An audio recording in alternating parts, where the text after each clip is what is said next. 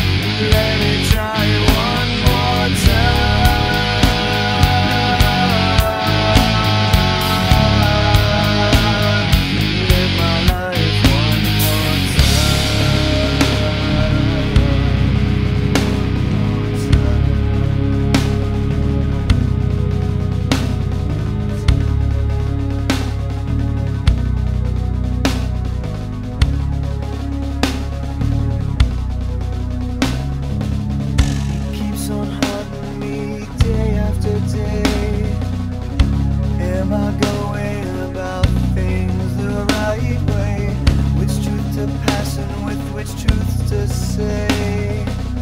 It's all so hard, I'm just so damn afraid. About as much as I can.